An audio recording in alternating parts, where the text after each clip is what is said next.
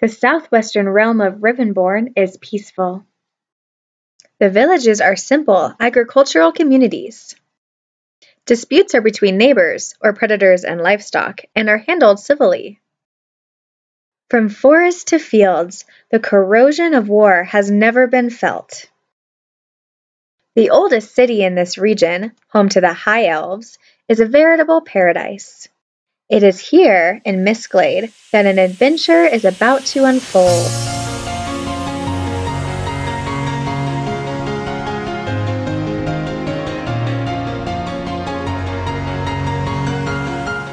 While visiting Mistglade, our hero gets bored and goes exploring.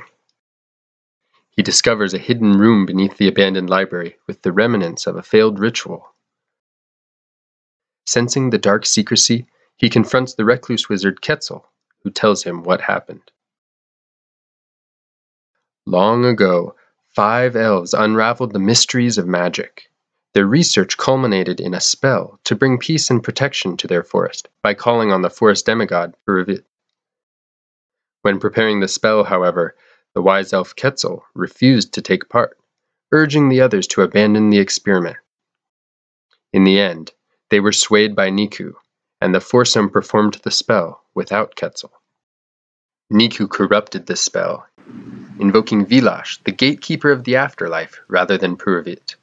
Niku intended to control Vilash, and thus control who lived and died, but the spell brought Vilash into the mortal realm, dooming the elves.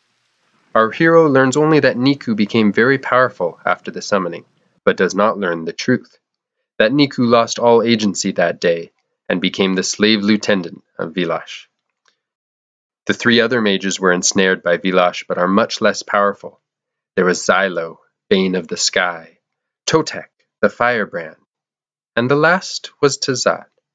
Our hero is not told her name because there are none alive who remember it.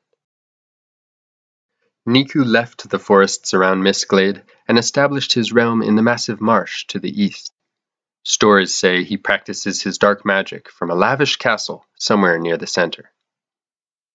Quetzal went on to build his tower and continued studying magic on his own.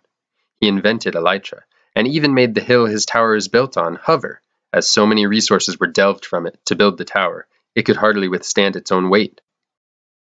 He advises the Mistglade elves occasionally, counseling them to use watchtowers to protect the forest rather than magic. Before our hero starts his quest, Quetzal gives him the powerful sword, the Truth Untold, which contains the unworking spell that could banish Vilash from Rivenbourne forever.